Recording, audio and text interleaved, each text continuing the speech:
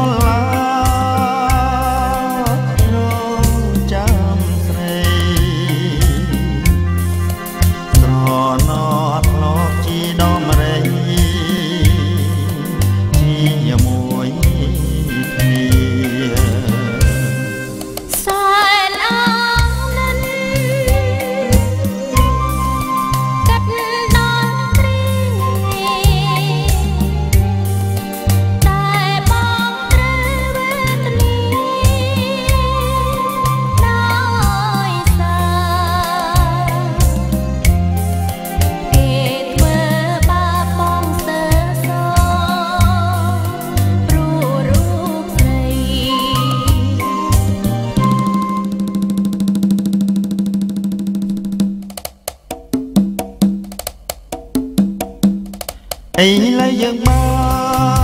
នជួបប្រាំជាថ្មីនេះគឺនិស័យយ៉ាងហើយណាបងពេលដែលកន្លងក្រងបានជាអនុសាបងនឹងពន្លង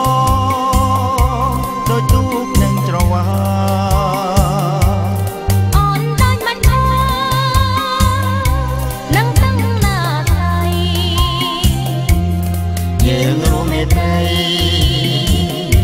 លោកស្រីសំ